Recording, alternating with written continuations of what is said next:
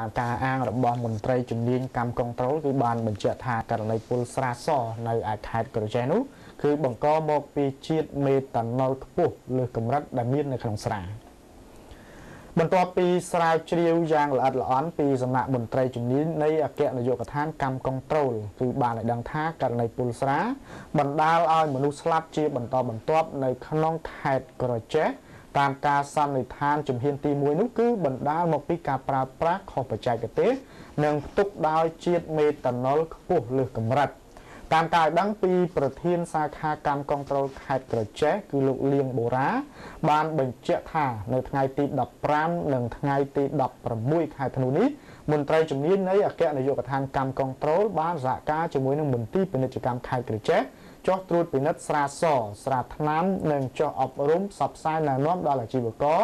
និងអ្នកបិទស្រាសនៅតាមបណ្ដាស្រុកដោយចលនាផលបានសន្និដ្ឋានរហូតដល់80%ឯណោះ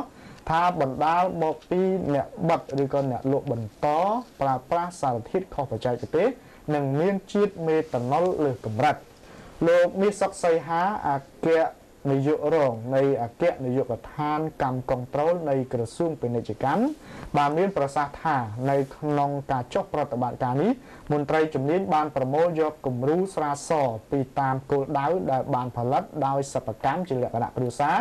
ដើម្បីបញ្ជូនទៅវិភាគនៅឯមន្ទីរពិសោធន៍រកមូលហេតុនៃការស្លាប់ឲ្យបានជាក់លាក់លោកបានបន្តថាជាលទ្ធផលក្នុងករណីទី1 ដែលមានមនុស្សស្លាប់ដោយសារតែពុលស្រានៅស្រុកសម្បូរជាលទ្ធផលនៃការវិភាគគឺបានបង្ហាញថាគឺប្រើប្រាស់សារធាតុមេតាណុលលើសកម្រិតសារធាតុមេតាណុលមិនមែនជាសារធាតុដែលអាចទទួលបានដូចដែលប្រជាពលរដ្ឋគិតនិងយកមកប្រើប្រាស់នោះទេ សារធាតុមេតាណុលនេះគឺជាគីមីមួយយ៉ាងដែលមានក្លិន និងពណ៌ស្រដៀងទៅនឹងស្រាសហើយគេយកសារធាតុនេះទៅប្រើប្រាស់សម្រាប់វិស័យសិប្បកម្មឧស្សាហកម្មនិងសម្រាប់លាយថ្នាំលាបជាដើមមិនមែនសម្រាប់យកទៅលាយជាមួយទឹកសម្រាប់ទទួលទាននោះទេ